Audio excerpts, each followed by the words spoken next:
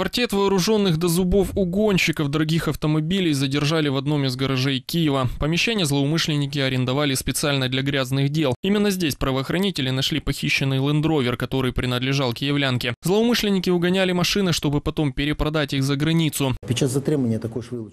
При задержании также изъят был боевой пистолет, другое боевое оружие, средства для взрыва, это тротил, другие средства, также патроны, гранаты F1, гранаты РГД. Гранати F1, гранати РГД. Оперативники выслеживали преступный квартет полгода и выяснили, угонщики работали по отлаженной схеме. Один из злоумышленников проникал в салон, заводил машину и потихоньку двигался с места. Его соратники ехали впереди, на других машинах и передавали информацию по рации о возможных опасностях. Какие-либо обстоятельства не должны были поставить под угрозу всю операцию. В милиции говорят, сейчас остро стоит проблема с угонами в Киеве. Только за прошлую неделю правоохранители задержали три группы серийных автоугонщиков. Но если в столице милиционерам удалось поймать большую рыбу, правоохранителям из Запорожья в руки попал автоугонщик-любитель. Злоумышленника, который разъезжал на стареньких «Жигулях», выдало неумелое вождение.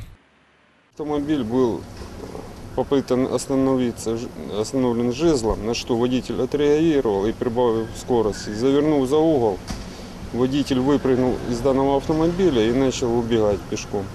Беглеца догнали, им оказался ранее судимый 21-летний молодой человек. Свой поступок парень объяснил просто, мол, не было денег на проезд домой, поэтому и решил ехать на чужом автомобиле. Для угонщиков машин сегодня нет никаких преград в своих схемах, они очень изобретательны, независимо от того, это элитная иномарка или экземпляр советского автопрома. Злоумышленники умеют найти подход к разным моделям. Часто не спасает даже дорогая сигнализация, однако все же не стоит пренебрегать элементарными средствами безопасности.